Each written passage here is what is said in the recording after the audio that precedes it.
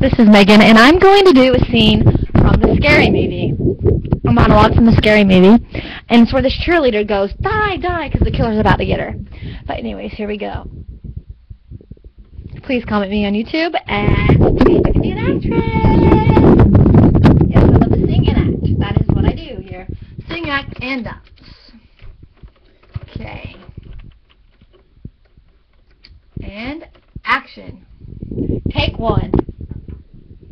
Here we go. Let's go to it. Hello? Is someone here? Hello? Aha, very funny. Who put you up to this, Sydney? Lose the cape. It's way too 90s horror. Oh, so what movie is this from? Die, cheerleader, die. Want to play psycho killer? Can I be the helpless cheerleader? Is this where I'm supposed to beg for my life? Please, Mr. Scary Killer, don't kill me.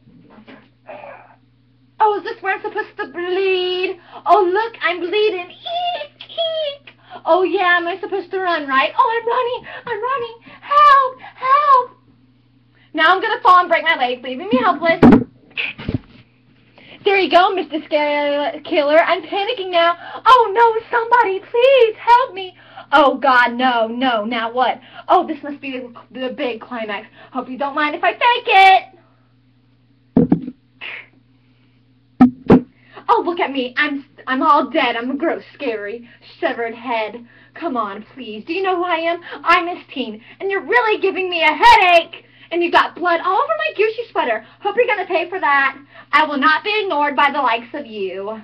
Thank you. That was me playing Buffy from the Scary Movie. Comment me on YouTube. I'd love to be an actress. Mwah.